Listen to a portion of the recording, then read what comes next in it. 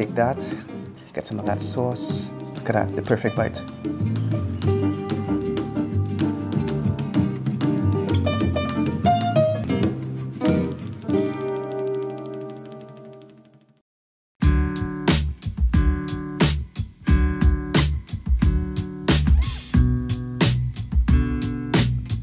All right, Chef Jason at home, right here in Santa Cruz, and I'm gonna show you how to make the perfect steak today with a red bell pepper and tamarind chimichurri. And of course, a good steak always hits the occasion, for birthday, for Valentine's, carnival, you name it. Let's get to it.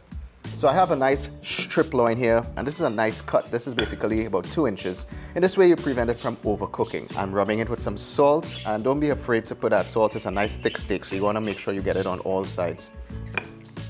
And then we wanna put some black pepper inside there. When you start to rub the sides of it, the abrasive action of all those great spices sort of perfume the steak and rub into it. You get a nice abrasive exterior. Another spice that I love is paprika. Mop that up all over your cutting board to ensure you get that perfect bark developing. And then we get our fire on. Touch of vegetable oil inside there. And as mentioned, of course, we're going to be making this bell pepper and tamarind chimichurri. Pretty much start by putting my chives inside there, piece of garlic, and of course, this is gonna add flavor to my steak. All right, so while that's going on, let's start to build our sauce.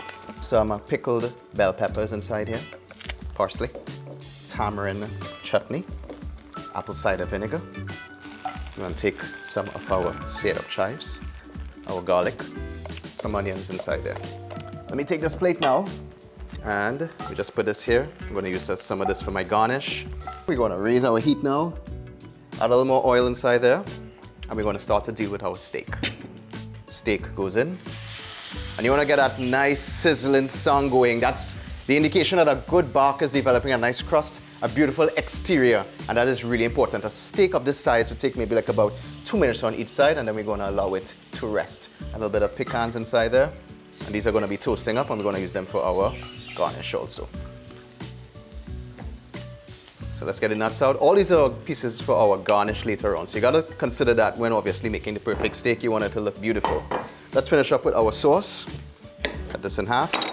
I'm gonna add a little bit of juice inside here. Let's check on our steak. How beautiful. Look at that sear, ladies and gents. That's exactly what you want. It's been about two minutes. We're gonna do the next side. We are searing at this point in time. And then we're gonna flip it in a little while. I'll show it to you in a little while. Let's get back to our sauce. Olive oil inside there. Salt and some black pepper.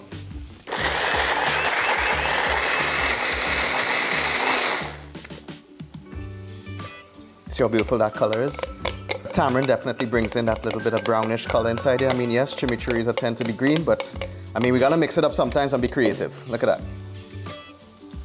Now, one piece of advice that I can give you is when cooking steaks, I just don't like to leave it on one side to cook continuously for two, three, four minutes. I like to flip it every two minutes to allow the heat to distribute evenly throughout the meat on both sides. And that way, you could get control the browning on all sides and the degree of cooking doneness as it goes through or penetrates throughout the meat, especially when you're doing thicker cuts like the strip loin. So a little bit of butter inside there.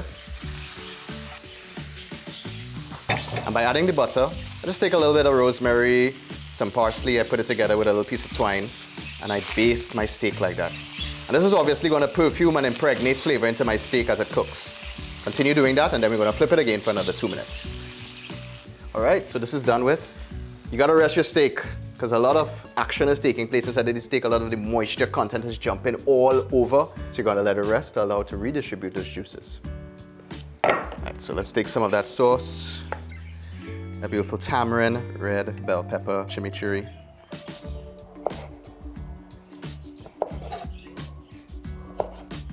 That's exactly what you're looking for at this point in time. Those beautiful little red blush marks. We're gonna take our pieces, place them down that, all over. Take our chives, a little bit of our purple onions. You gotta make it look beautiful. I mean, I mean, beautiful date night food. And we wanna take some of those pecans. Any steak needs some fresh chives on top. And this is obviously at medium temperature. When you get that nice little blush color, that is important because you don't want to overcook your steak. It's gonna get like rubber. Gonna get that nice moisture inside there. Beef obviously is a red meat, so people think it's blood when they're seeing actually no, it's just the pigment of the meat. And take that, get some of that sauce, maybe one of those pecans on top there. Look at that, the perfect bite. Let's go. Mmm. Mm, tamarind, chimichurri with those red peppers. It's sweet tart. Nice finish with the acidity from the lime juice inside there. So good when it's taken weeks it up. Puts it on that new level of flavor that is just screaming at you. Mashed sweet potatoes, a little bit of butter inside there. We want more than that. Happy days, it's good to go. Perfect steak dinner, lunch at any point in time. You're good to go. Chef Jason brought it to you. On deck right here in Santa Cruz. Good food, obviously. And of course, if you ever you want to feature any of your brands or products on our show, reach out to us at www.chefjasonperu.com or email us at perujason at yahoo.com. We'll be happy to work with you and obviously give you the best exposure that you could ever wish for. So I'll see you on the next one. Chef Jason at home.